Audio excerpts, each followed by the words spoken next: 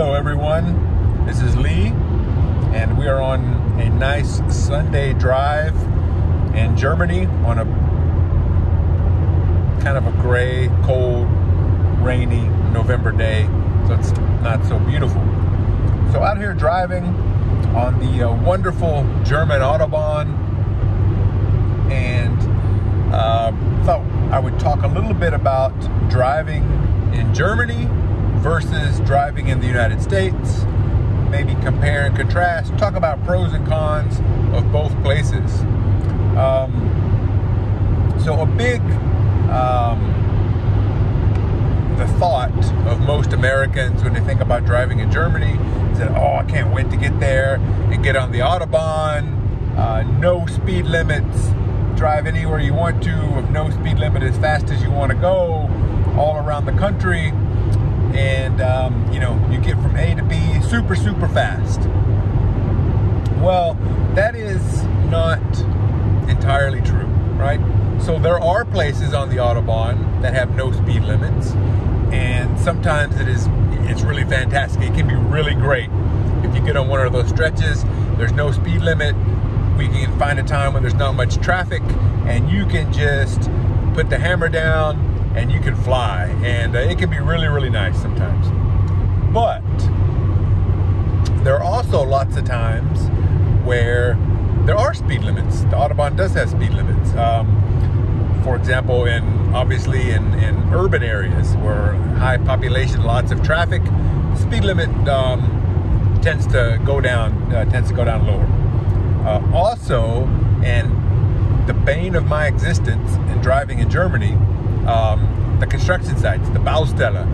And it seems like they are everywhere, and sometimes it seems like you can't drive more than two or three kilometers without running into another construction site. And so um, the lanes get smaller, everything compresses down, the speed limit goes down, and uh, it can be very, very um, stressful and very um, you know, frustrating drive in those situations.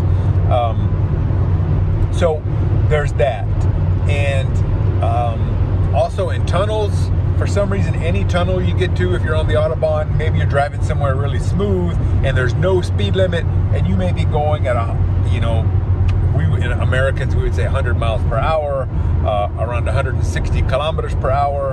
Um, you know 120 miles per hour 180 kilometers per hour um, you may be going really fast and then all of a sudden you hit this tunnel and for really no reason the the speed limit just goes down to 80 kilometers per hour which is approximately 48 50 miles per hour and so you have to slow down you go through the tunnel now i get it i'm sure there's a safety reason for that um, you know, they don't want people driving too fast through the tunnels. You know, uh, a lot of bad things can happen.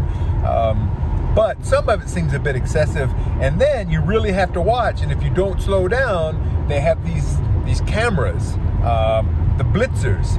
Um, they'll take your picture if you're driving too fast, if you're breaking the speed limit. And then a few weeks later, you'll get a nice letter in the mail saying, "Hey, um, you were driving 120 kilometers per hour and then 80 kilometer per hour zone and you get a nice ticket, right? So there's that, lots of tickets. Now, what's nice about driving in Germany, other than the times when you do hit a nice stretch of Autobahn where there's not much traffic and there's no speed limit, um, German drivers tend to uh, know the rules of the road and they tend to follow them very well. So slow vehicles stay in the right lane, you only get in the left lane to pass. Um, they know um, who has the right of way, and they're very good at following the rules. So that makes traffic, for the most part, flow pretty smoothly. Now, Americans, on the other hand, we don't really know the rules, or if we know the rules, we just don't follow them. And, and we get away with it to a certain extent in the United States, in North America, because there's just not as much traffic right? So there's not as much traffic, so you can kind of ignore some of the rules. Uh, but every time I go back to the United States and I drive on the freeway, I get really, really frustrated. And all of you who don't know the rules, and you might be driving really slow over the left-hand lane, and so it's um, it's problematic. if the United States had the uh, volume of traffic on the roads that Germany does, uh, the way we drive, I think it would be very, very problematic. Um, yeah, so Germans know the rules.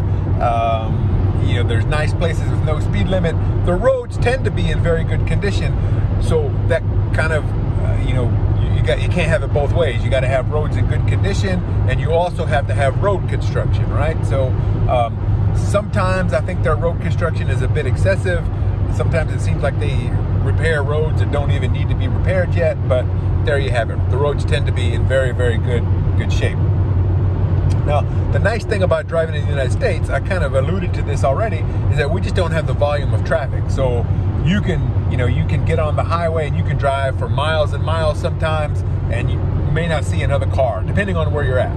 And a lot of my European friends who have been to North America, that's one of the things they always comment on is like, man, it's so nice driving in, in North America because there's no traffic on the roads, right? So they really like that. You know, they like driving across uh, Texas, across the western United States, you know, miles and miles and miles of, of nice highway with uh, not much traffic.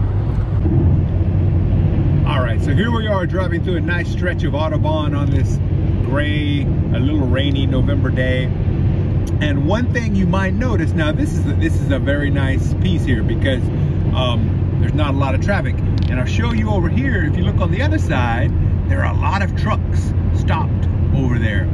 And that is because in Germany on Sunday, trucks are not allowed to drive on the Autobahn. So Sunday could be a very nice day to drive. Um, so if you're out and about um, and you want to take a little drive on the weekend, sometimes Sunday can be very, very nice. Now, the bad thing about driving on Sunday is if it's a school holiday, everybody else is driving too. So even though there aren't any trucks on the road, sometimes Sundays can just be absolutely horrendous for traffic here in Germany.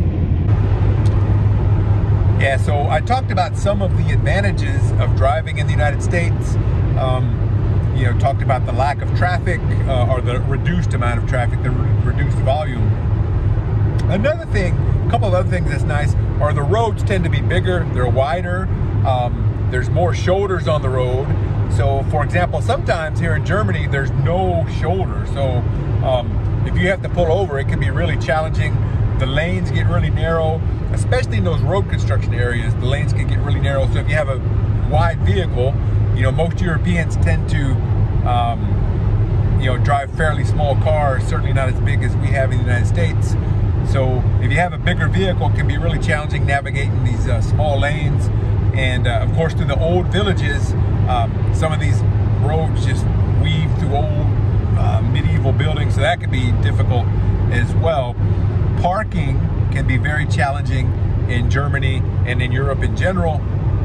Parking spots are much smaller, much more crammed in. They can't be so, and that's nice in the United States uh, or North America in general to have big parking spots, and it's much easier to park your car.